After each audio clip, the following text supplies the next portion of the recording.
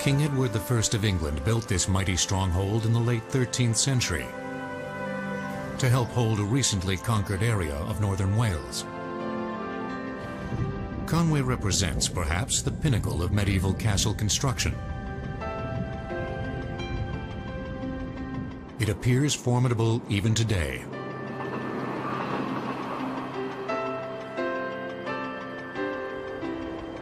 After more than 700 years, the sophistication of design is still clearly evident.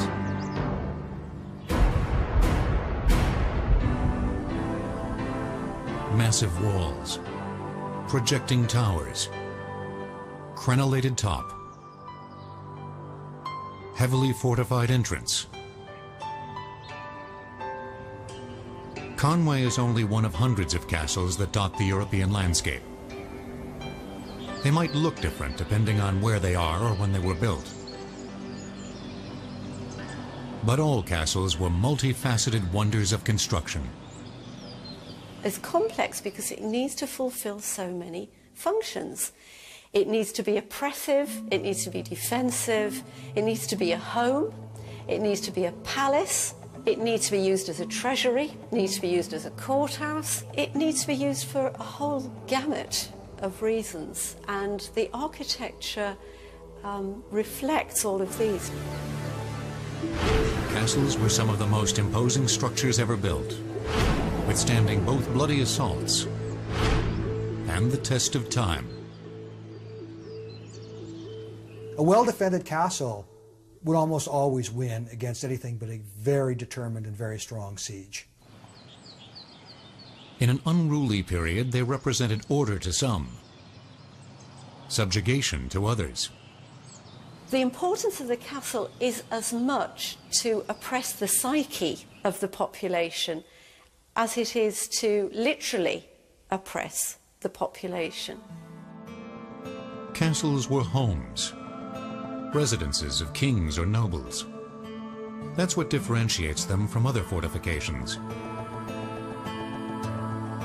They were built to protect a king's or nobleman's territory.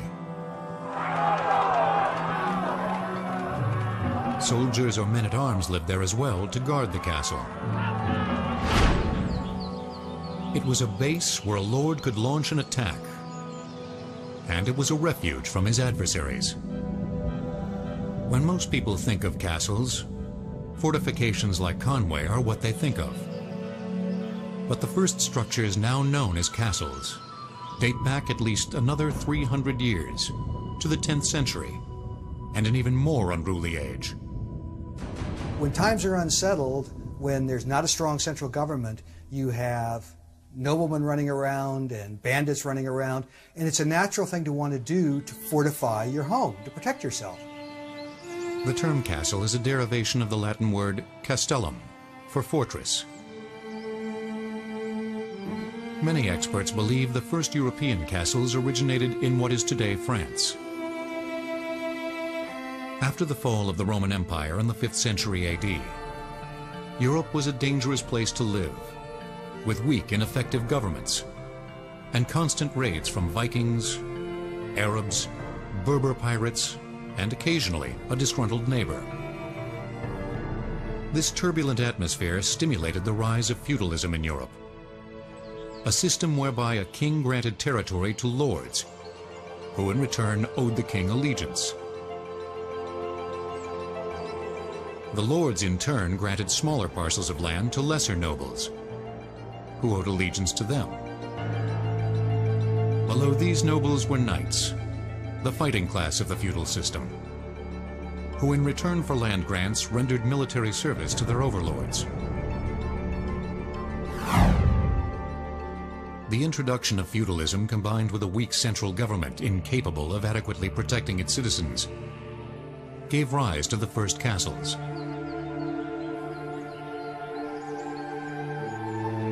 One of the earliest and most popular designs was the Motte and Bailey Castle.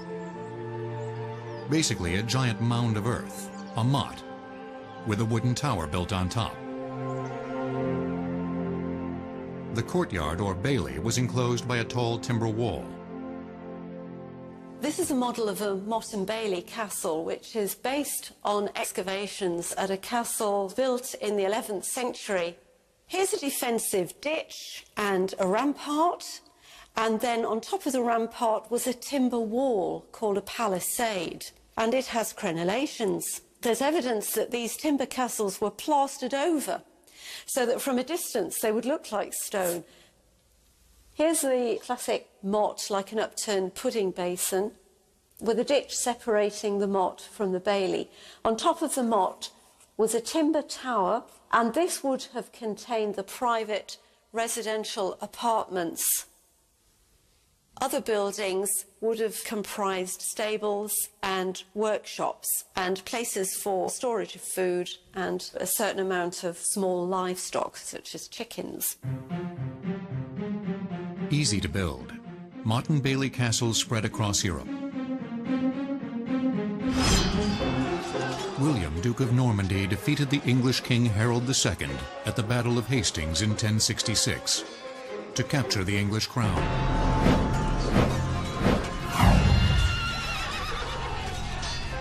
He brought and Bailey's with him to help control his newly conquered land.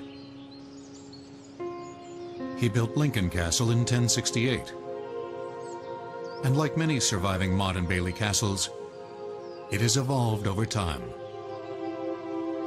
But the Motte still stands 40 feet high. That, that is a Motte over there. That's the original Motte, that's the Lucy Tower. It was the last bastion of defence. If this castle was uh, attacked, that's where we would escape to, into the actual keep. The tower, or what eventually came to be called the keep, also served as the castle owner's home. Being higher than the enemy served several strategic advantages. So builders tried to push towers and walls taller. As the enemy came up with new tactics or weapons, castle architecture evolved to face the new threats. But the timber fortifications of the early medieval period eventually disappeared thanks largely to one enemy it couldn't defend itself against fire. But castle evolution in general is very simple. And somebody more intelligent than I has called it a bloody spiral. In other words, fire attacks the wooden castle, build it in stone. Corners are structurally weak, build it round. People go through walls, build them thicker. People go over walls, build them higher. In other words, it's all respond and defence. As the Middle Ages progressed, so did castle architecture.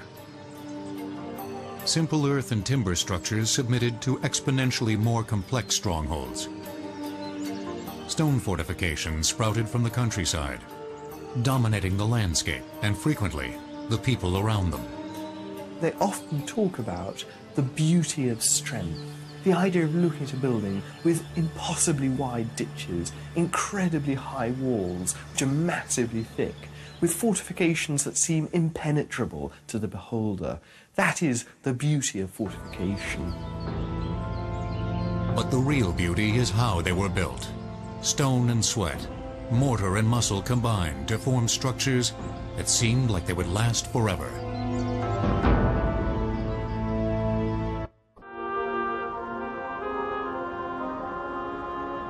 In the early medieval period, castle builders turned from wood to stone construction. The more money the builder had, the more elaborate and massive the fortifications became. Several of the most imposing castles in all of Great Britain were the result of one man's resolve. In 1283, Edward I, the King of England, conquered Gwynedd, not Wales, just Gwynedd. Wales was a land of many different states, not unified politically. One of these states in the north and the west is called Gwynedd, and that is what Edward I conquered. Edward I was, in essence, doing a John Wayne. He was moving west, the natives were hostile, and so he built forts. And that's what this castle is. It is a fort. Here we have a garrison of soldiers in a fort in the frontier with the hostiles outside. In the late 13th century, King Edward I ordered the modification or construction of more than 10 magnificent castles. Among others, Conway, Chirk, and Carnarvon are enduring examples of Edward's dominating presence in northern Wales. To many scholars, the Edwardian castles represent the apex of medieval castle construction. They're designed like machines. Every architectural detail devoted to defense, as well as psychological intimidation. Having stood for 700 years, these castles are stunning. But the way they were built might be even more impressive to us today. There's nothing magical about the way they built. They built by power, uh, manpower and they had three and a half thousand of them to actually do it. Earth-moving equipment, one and a half thousand men with shovels in their hand. That was their earth-moving equipment. And boy, could they move earth. By utilizing thousands of craftsmen and laborers, Edward's castles went up fast. Conway was built in just four and a half years. Like subcontractors on a modern skyscraper, castle construction required over a hundred different crafts, including carters, carpenters, blacksmiths, and masons. The brilliant architect, Master James of St. George from Savoy, coordinated the remarkable construction effort. James designed several of Edward's castles as well as supervised construction, which occurred simultaneously at different sites. James' castles were big, broad, and tall. Carnarvon boasts 13 towers, the tallest stretching 128 feet into the sky. Building something this complicated took precise planning from the very beginning. James castles incorporated construction aids, such as scaffolding support holes or putlog holes, into the structure itself. The main construction of the castle, the building of the walls, was achieved by building a lowish wall to this height, then to put a log on the wall, protruding to a vertical log here, then scaffolding constructed, and they could carry stones up the scaffolding, placing them on the wall to allow the mason to stand on the wall and raise it further for again another beam to meet another horizontal and to have some more scaffolding and repeat the process as we climb up and up and eventually getting to the top.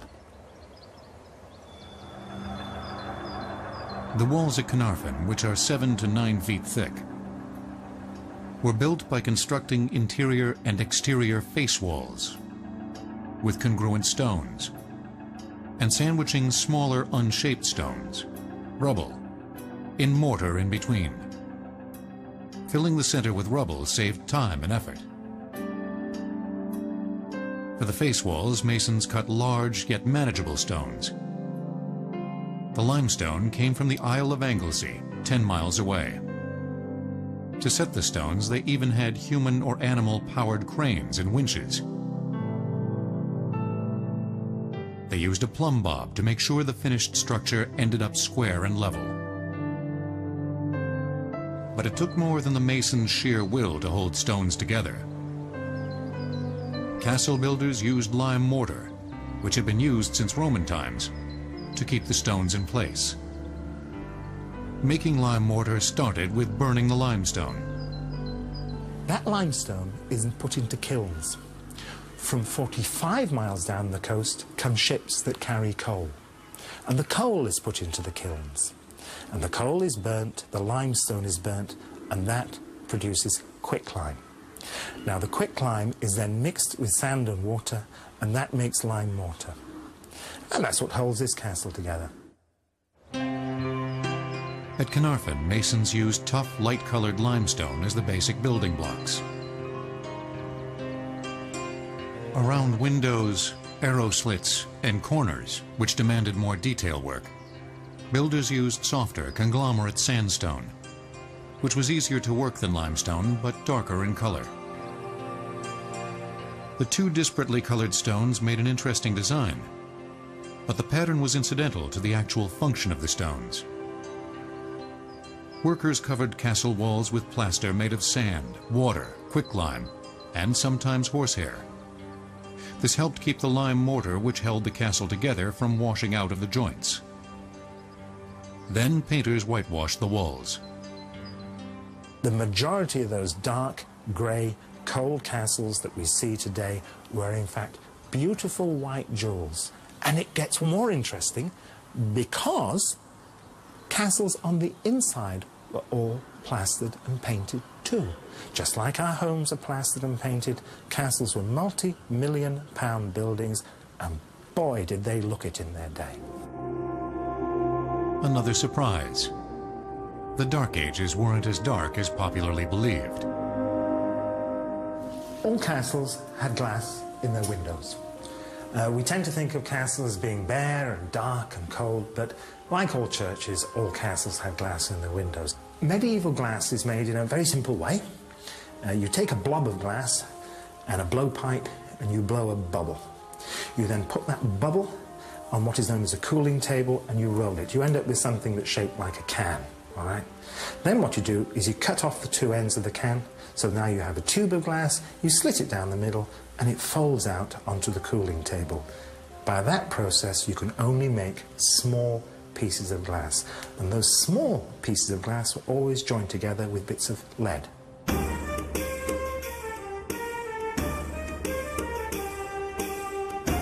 With an army of thousands, James of St. George created a magnificent group of castles, which Edward hoped would help finally suppress the Welsh. To a large extent, Edward was successful, but the king's castles cost a king's ransom. The 13 castles and the two wars cost him seven and a half years' income. He was bankrupt 14 years after this castle was started. Now, I know this is an alien concept to the United States of America, overspending on defence. But, you know, it used to exist in Britain 700 years ago, and some would argue it's a great old British tradition that continues to this day. Castles cost a lot. But they weren't your average family home.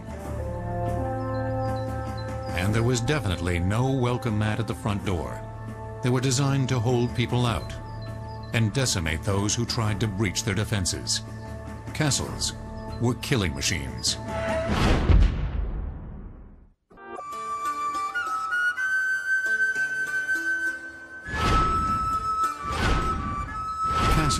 Had glass windows and pretty painted walls. But that had nothing to do with their primary purpose. The whole principle of the castle by the end of the 12th century is to establish means by which the maximum firepower can be brought to bear at any vulnerable spot.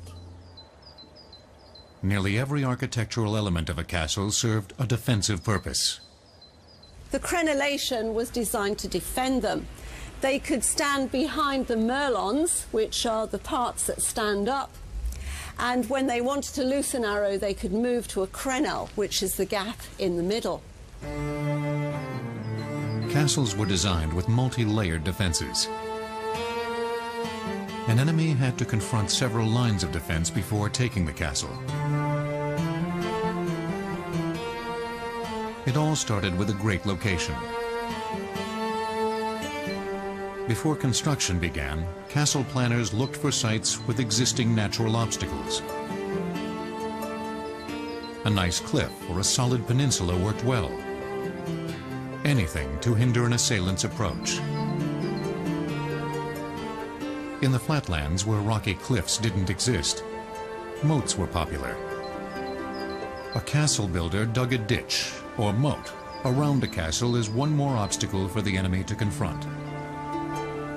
The surrounding ditch, which did not necessarily contain water, could be quite broad, 30 feet or more. Sometimes sharpened stakes were embedded in the moat. But even if it didn't have stakes or wasn't filled with water, the charge up the embankment of the moat to get to the castle walls while being shot at was extremely difficult and harrowing. And no, there were never crocodiles, hippos, or dragons living in the moat. On the other side of the moat stood the wall and imposing towers. From these, archers showered arrows on the enemy. Towers projected from the walls to give archers a clear shot at the base of the neighboring tower. The Edwardian castles were specifically built to take advantage of one of the most lethal weapons of the day, the crossbow. A weapon capable of piercing armor at close range. An experienced bowman could shoot perhaps three to four bolts a minute. Castle builders constructed loopholes, or arrow slits in the towers, and sometimes in the walls, to protect their archers. A loophole was a thin vertical opening in the wall, where the archer could take aim and fire. The slit splayed out inside the wall to give bowmen maneuverability. Each loophole covers a specific arc, so the archer is firing a bit like a modern machine gun defense, and all the arcs intersect in a carefully designed castle. So there's no point at which an attacker can, as it were, just simply walk through without paying a price. The walls themselves could be massive, 20 feet thick at the base or more. Castle walls were wider at the bottom and tapered at the top. At the bottom of the castle wall, you'll often see a sloping mass of stones called a batter. Stones dropped from above, from the top of the wall, onto the batter will break up and spray shrapnel at the attackers. So it's a bit like dropping hand grenades. For attackers, there were only three ways to defeat a wall. Go over it, under it, or through it. Hey. But before a direct assault, one option was to bombard the castle with the medieval equivalent of Tomahawk missiles. A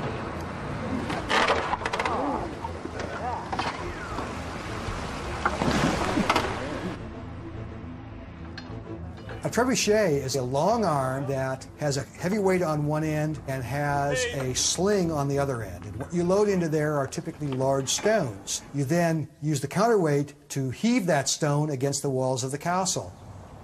Stones were thrown at the top of the walls, the most vulnerable spot.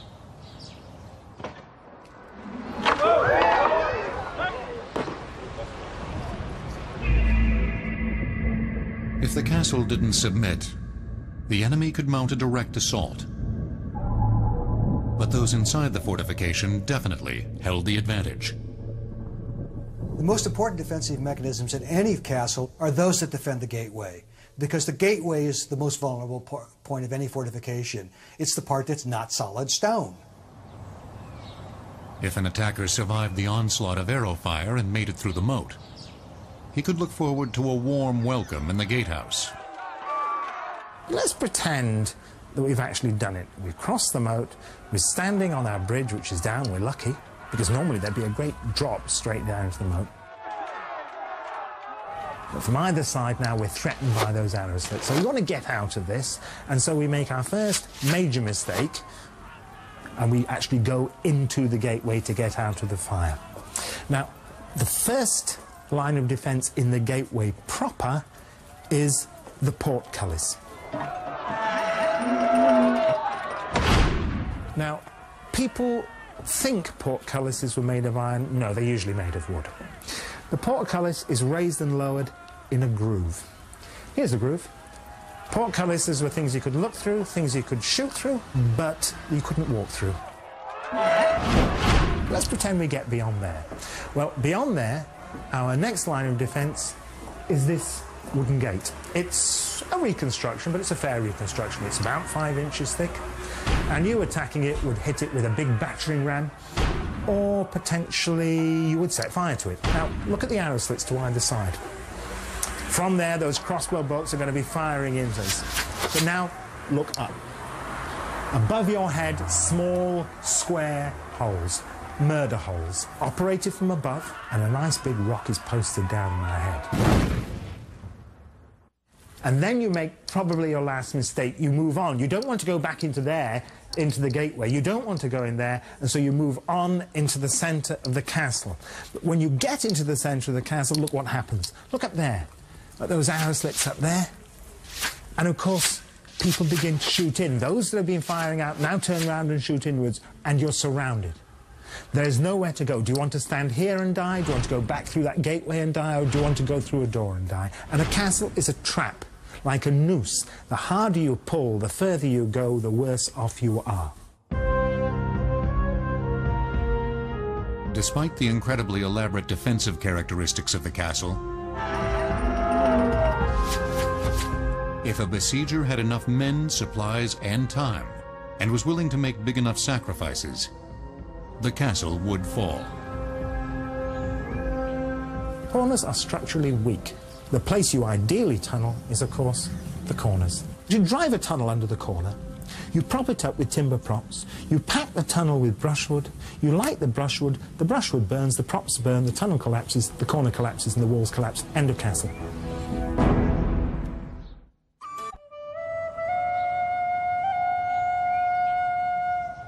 A man's home is his castle.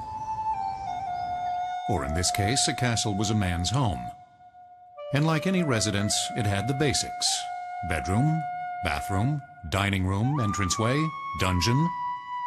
Dungeon? Dungeon is an interesting word. We think of a dungeon as being a dank hole where people were locked up. But the term really comes from the French word donjon, which is the name for the keep of a castle. Now, how it got that other meaning is not real clear. Virtually every nobleman had some occasion to lock somebody up. He might not have had a full fledged prison, but there was always somebody he didn't like. This is what's popularly known as an oubliette or a bottle prison. There are two possibilities. Either it was used for storage, but it has to be said that the access is a bit awkward for getting your stores in and out. Or it was used as a rather unpleasant prison for retaining people. And it's formed with a corbelled vault. That means the walls go up more or less straight, and then the stones start to edge in to make a sort of beehive shape. Oubliette comes from the French word oublier, to forget. The implication being that they threw prisoners into these and forgot all about them. Um, I can't see that happening. Why would they want to forget about a prisoner? Either you're holding him for ransom, or he's a political prisoner, or he's a normal miscreant, in which case he's going to be hauled up for trial fairly soon and dealt with. Chirk Castle boasts a double-decker prison. We have two levels of dungeon. The upper level has a fireplace and is probably a, a room where you would have kept prisoners that you could sell for ransom. People that you wanted kept safe, but uh, they were worth money. They could be gentry, they could be um, people captured in battle. The lower dungeon is a little more unpleasant. 15 French prisoners were kept in that dungeon for seven years after the Battle of Agincourt. There is light from three arrow slits, but even in the middle of the day, it is still pretty dark down there. We presume there had been straw on the floor. It's always stayed a constant temperature, about um, 54 degrees Fahrenheit. Besides being a jail, a residence, and an economic center, the castle also served as a courthouse. Nobles were the law of the land. And although the accused might not spend much time in prison before his court date, the pre-trial questioning could be, well, torture. Torture, keeping someone alive for as long as you can, and inflicting often as much pain as you can without killing them, of course. The rack, I think it was so famous because there's so many things that you can do while somebody is on the rack. Normally you're stretching them, you're stretching their limbs, At that point, you can burn them, you can beat them, you can cut them.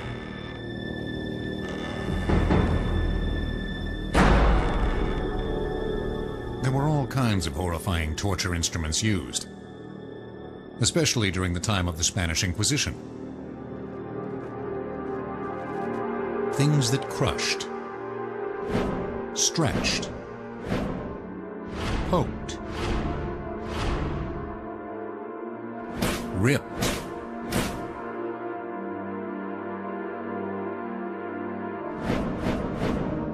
and were quite literally a pain in the rear. But the extent to which people were tortured in the early medieval age, at least, has been greatly exaggerated in books and movies. But torture was an accepted means of extracting information, although I think in every castle says, here's the room where the torture occurred. That's probably stretching things a bit. Few castles actually had torture chambers. Most criminals were simply fined and released, or promptly executed. The dungeon was by far the worst guest room in the castle, but the rest of the fortified residence could be quite nice. And like any well-planned domicile today, the perfect home started with a good design. You never dared build a castle unless you had a water supply. Now, outside is a river, salt water. The tide comes in from the ocean. And yet, 10 yards away, happened to be a freshwater spring. If there had not been one, there would be no castle. This spring, this well built on it, is 91 feet deep and supplied the water for the castle. If the castle was besieged, it wouldn't last long without fresh water. Some had cisterns to collect rainwater. But if the castle wasn't being attacked, why drink water when you could have beer? This is the center of the whole social life and atmosphere of the castle. It is really in here. The king is in this castle. He wants everyone together in the banquet hall. Let us imagine a banquet now. Let us imagine a big fire in here and a big fire in there. Across that wooden wall, there's a high table for the king and the queen and their friends.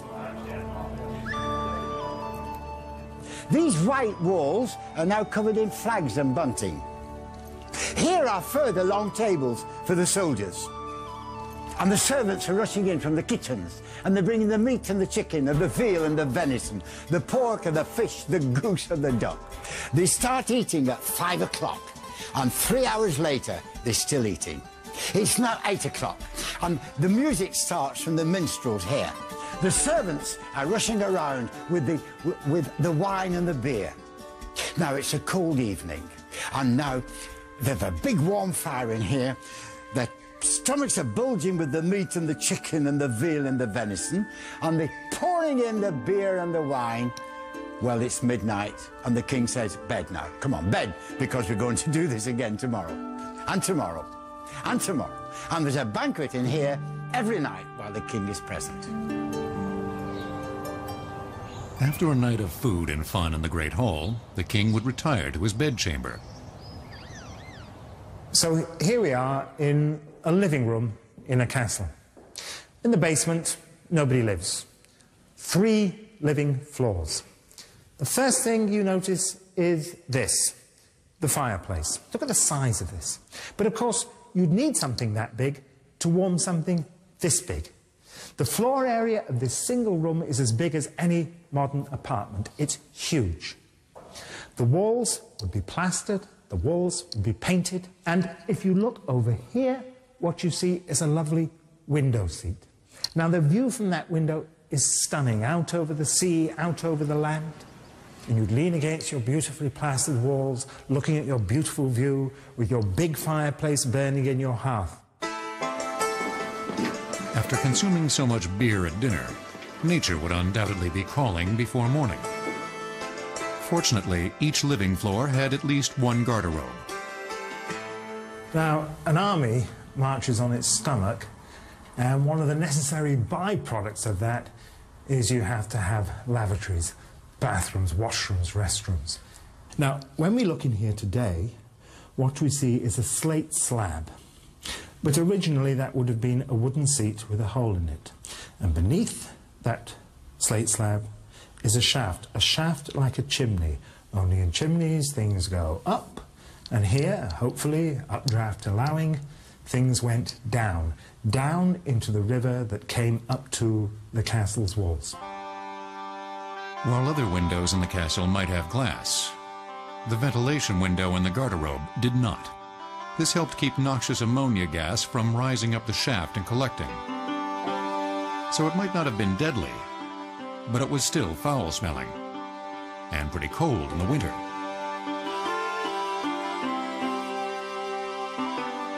But these amenities and fine accommodations only got better as time went on. By the 15th century, wealthy nobles couldn't decide whether to build fortifications or opulent palaces. The political environment, as well as new methods of warfare, eventually led to the castle's decline. But not before builders constructed some of the most stunning structures of all time.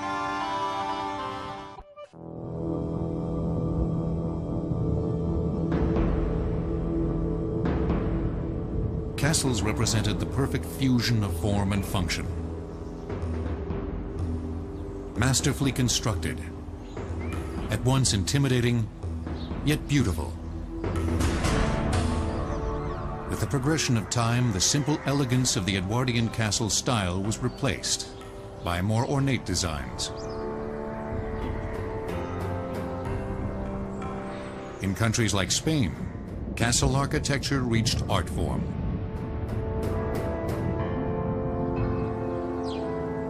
These embellished Spanish fortifications were among the last true castles built.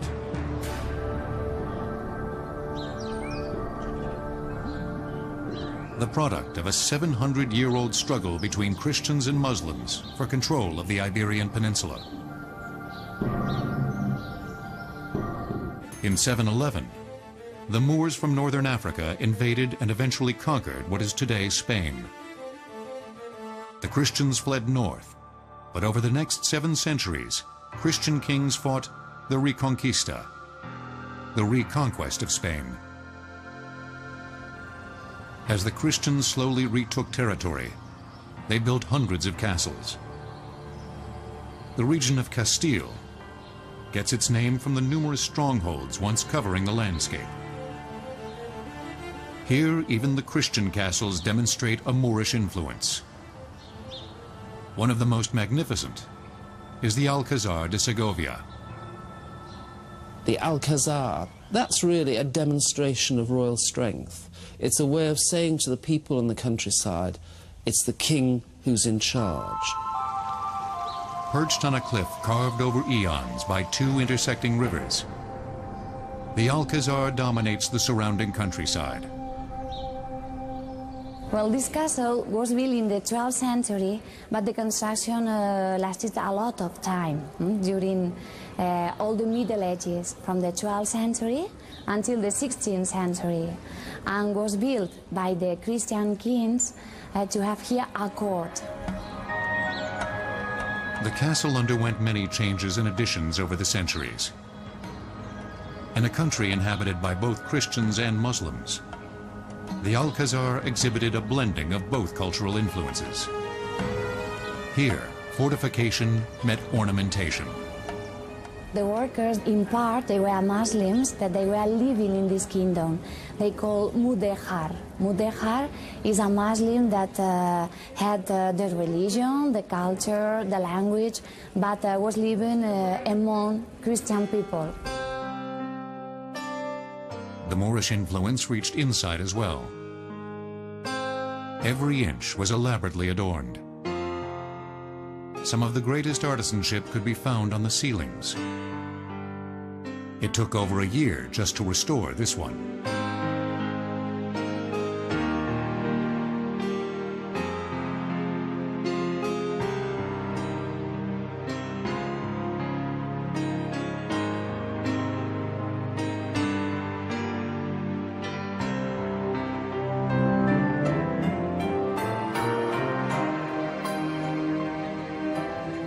Architects and military strategists spent centuries refining the function of castles. That is until one invention blew a big hole in all that work. Why did the castle decline? Two reasons. First place, people invented gunpowder, and cannons could knock down walls. Took them time to perfect it, but in the end, a castle with high walls was no longer defensible. Second reason, well, the world changed. Centralized government became stronger. Kings became real kings. They didn't depend on lords anymore. And they didn't like lords having castles. By the 15th century, nobles in much of Europe started building luxurious homes instead of fortifications. Slowly, many of these mighty fortifications fell into disuse. Some were purposely torn down by cautious kings. Several Edwardian castles were partially dismantled after the English Civil War in the mid-17th century. Others were gradually deconstructed by villagers needing building material. In the 19th century, there was a sort of rebirth of castles, not in the traditional defensive sense, but in the architectural sense, an attempt to build structures that looked like old castles that captured the romanticism that was perceived to have come from the Middle Ages. Many people in the 19th century wanted to recapture that period. Although castles may have disappeared, our fascination with them has never waned. The idea of things being beautiful because they're fortified is rather like the idea of a car being beautiful because it looks as though it goes very fast. That sense of theatre in castle architecture is a tremendously important element of castles. It's slightly dangerous and magnificent and powerful at once.